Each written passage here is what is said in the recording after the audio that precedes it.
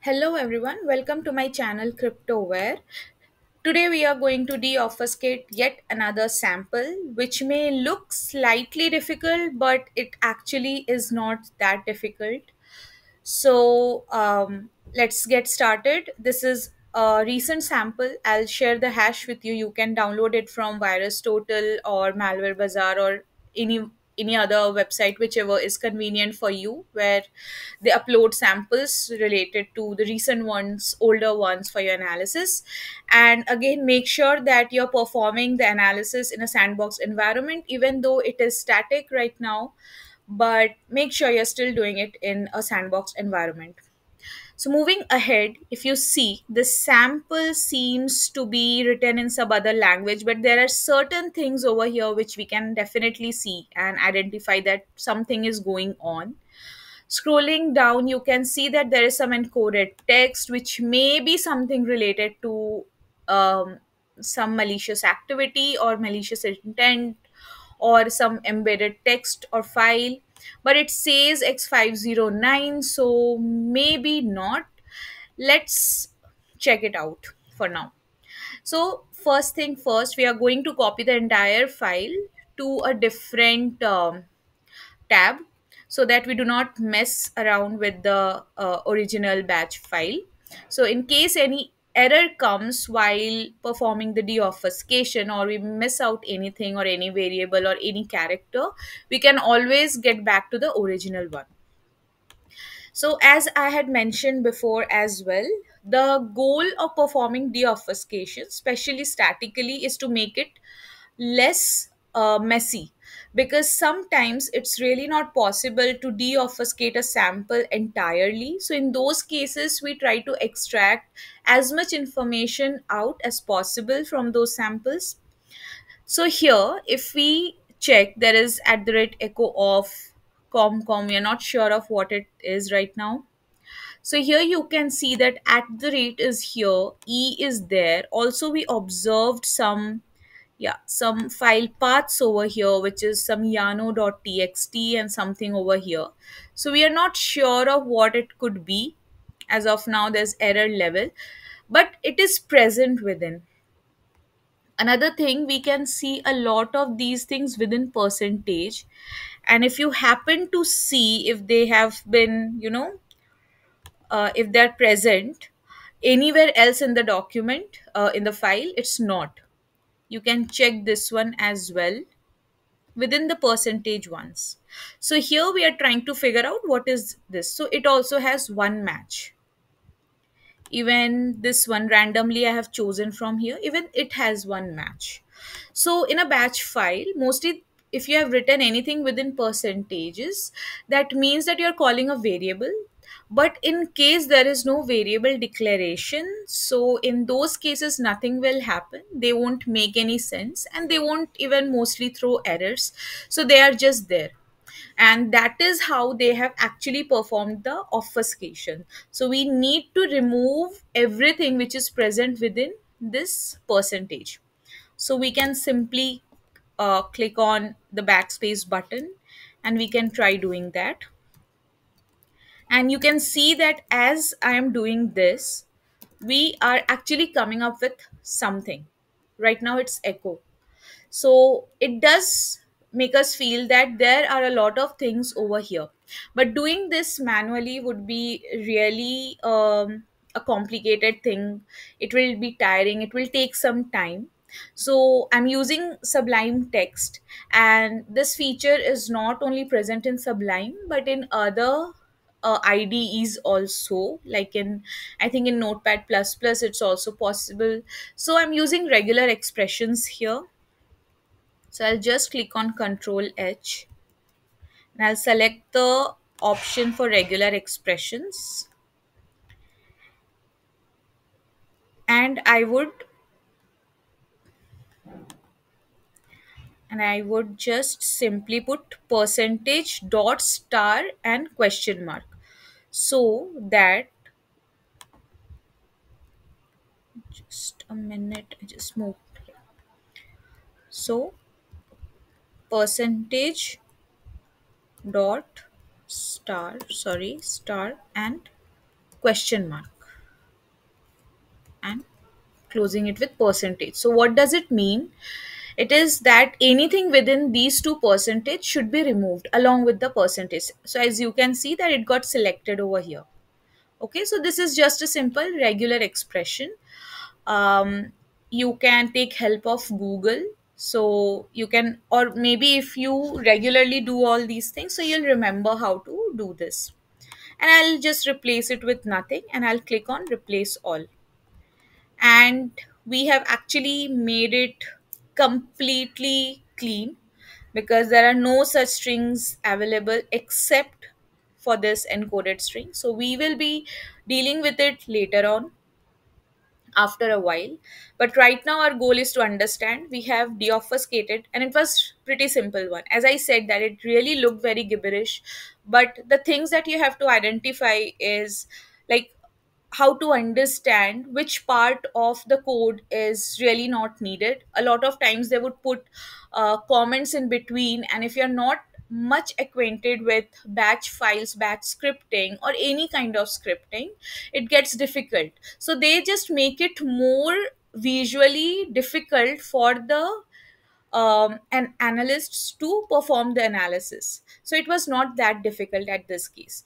So this was quite simple one, but you could see that if you have to do this manually, it would take really a long time, and you may or may not extract out the correct information because you may miss some characters. Because as you can see, the characters are in between in such a way that it's really not very clear lot of times because in between they have all they might have also put some other uh, characters or some other um, along apart from text text characters there could be backslash because they have also mentioned path over here colon colon path double quotes. So it would really get difficult to do it manually. You can write your own code or you can simply perform this uh, the uh, find and replace option using regular expressions that I did. So that really helps. So we will just go through the sample a bit to understand what it is probably trying to do. So here it is using extract32.exe. So it is a genuine uh, application. So using this, it is trying to extract uh, command.exe into alpha.exe and these null things have been used so that which whatever happens it is not much visible. So when this code runs because of all these because of echo off the user will not be able to identify or understand if anything is happening. Again since this is alpha now this command.exe so it uses again 32.extract32.exe to extract certutil.exe into kn.exe again it is done uh, without any uh, visibility without any noise maybe you can see. Again it is using this command and using this cert util and using this it is decoding something in hex. And here this means that it is mentioning itself the file itself. So it is talking about decoding the hex. So most probably this could be one but this is not in the hex format. Let's see. And using it in uh, putting it in yano.txt and then again all the same things have been used. Decode hex have been used again for yano.txt to decode it and then uh, name it as yano.com again the null has been used for the same reason so that we don't identify. And it runs yano.com it starts it ex- starts executing it. And using this it deletes yano.txt it deletes kn.exe and it deletes alpha.exe and everything silently. And it exits so basically when it is referring to itself so it is loading a file and it is trying to execute it. Now this is base 64 encoded. Okay. So what we will do is and it's really a very huge file as you can see. So what we will do is we'll extract just this base 64 and put it over here. Like in a different file as you can see. And we'll remove all these. Now base 64 string since it is a base 64 string what we need is we have to put them into one single line. So it will be a huge one not such separate lines. So you have to remove all the lines. So what you can do in this case is you can simply use I have you can simply use a batch uh, like I have used a bash script or you can again use regular expressions so that you can you know I'll show you the bash or I can use sublime for the same. So this is a very simple file uh, simple code simple script sorry. So mal.txt so I have already saved uh, I have so I have already saved this base 64 string into mal.txt and after doing so basically if you have any space also it will remove the space also and it will remove any um, tabs or new lines as well and it will store it in temp file which is temp.exe and mal.txt is this one so we'll simply run bash.sh and we can see temp.txt over here which is in one line. As you can see from number one over here instead of this. And you can simply base 64 decode it it's the name temp.txt base 64 hyphen d is something that you can do. And as i said you can put it in decoded text. And we can see what the decoded text here now looks like okay so if you have performed analysis before you can definitely identify that this is possibly a pe executable. So the bash uh, sorry the batch script that we have over here. Yeah sorry. So the bash uh, batch script that we have is basically loading and executing. So it's loading a portable executable file and it is executing it. So here you can see the magic numbers. Here.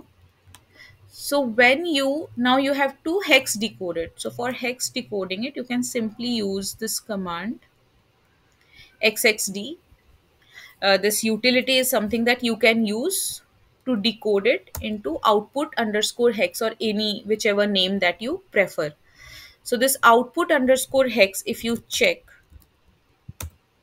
it is a portable executable. You can see file command also tells this is portable executable. If you want to see through strings we can check some strings over here.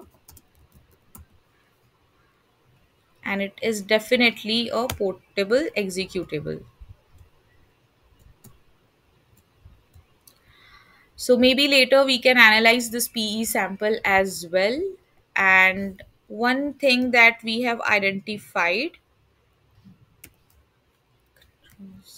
is how batch file can actually load portab- uh, portable executables in and can execute them. And you might even not be aware of how it is doing.